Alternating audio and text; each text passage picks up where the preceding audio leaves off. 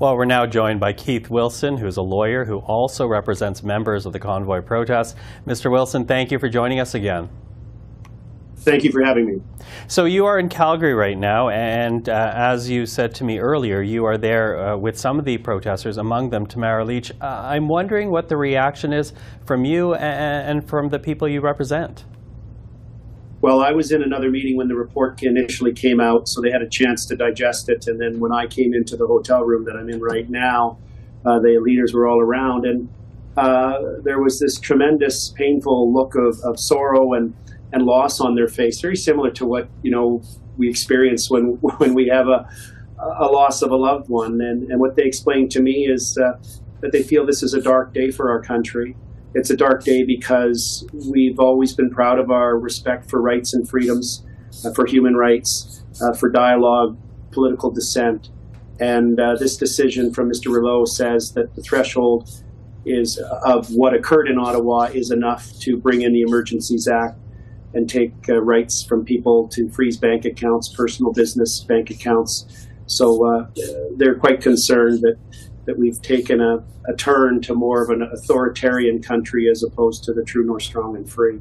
You know, I want to break uh, that up a little bit and, and, begin with the fact that, you know, when you go through this report, Justice Rouleau uh, does say that there, there were many peaceful protesters uh, a part of the, the movement. In fact, he says that the government, all governments should have done a better job of acknowledging that the majority of people were just exercising their fundamental and democratic rights and should have uh, been more clear, uh, drawing a line of distinction between peaceful protesters and those who are not. Is that not at least least encouraging to you?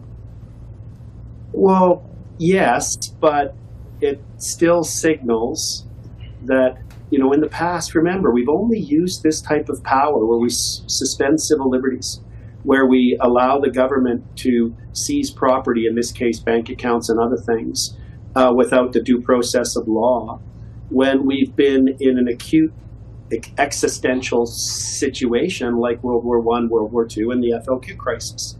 So we've completely established a new bar.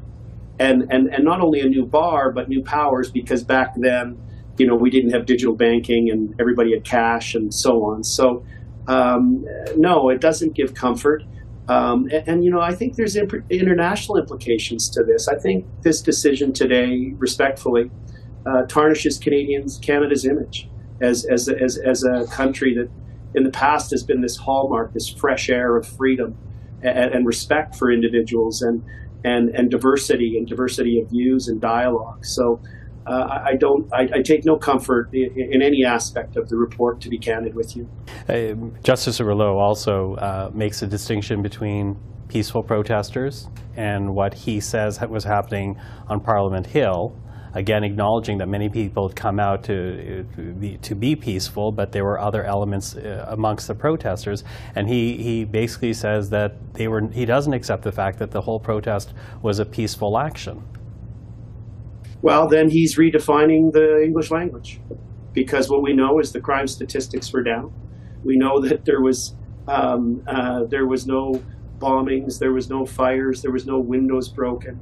Um, there was an absence of criminality. There was an absence of violence. That was the sworn testimony from the OPP, from the RCMP, from the Ottawa City Police, from CSIS, and so on. So, see, that's what's concerning here, is that that that that we, we're we're using new terms to define violence. It wasn't actual violence; it was felt or perceived violence. So, I'm not suggesting, nor any of my clients, that that that it would have been unreasonable for the government to take steps.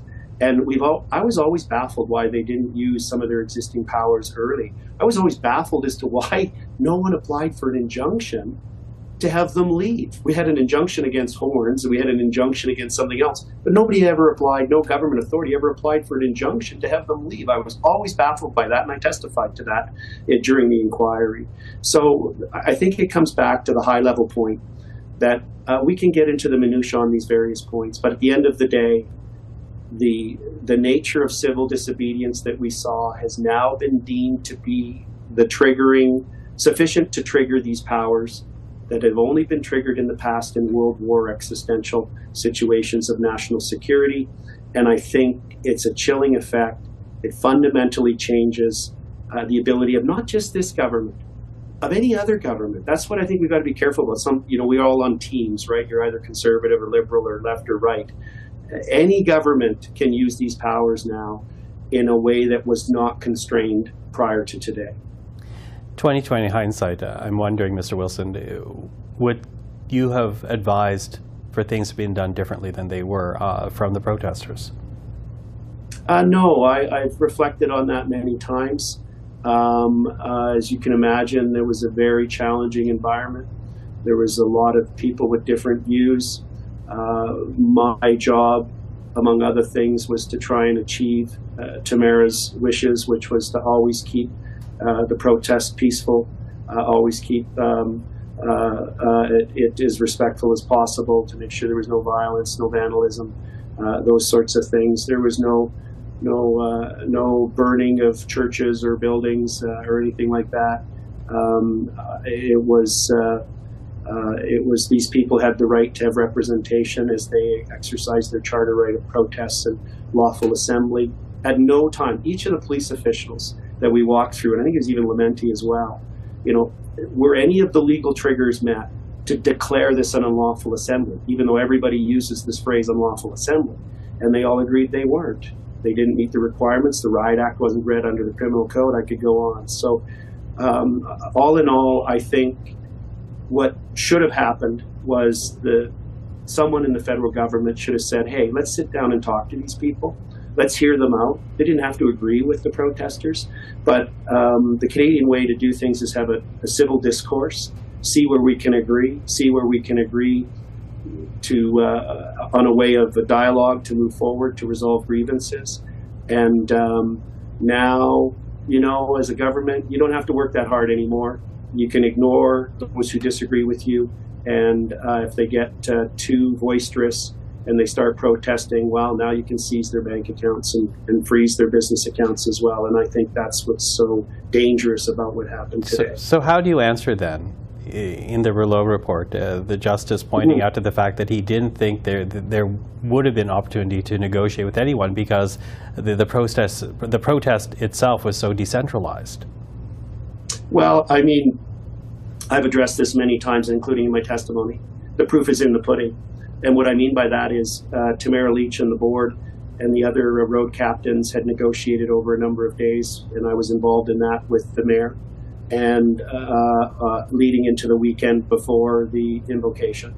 And on the Monday morning, the same day, the same afternoon, February 14th, that the Emergencies Act was invoked, uh, they had shown their ability to clear out a number of city blocks. Over 100 protest vehicles moved, 23 up to Wellington, the rest out to the base camps, and some of them people went home.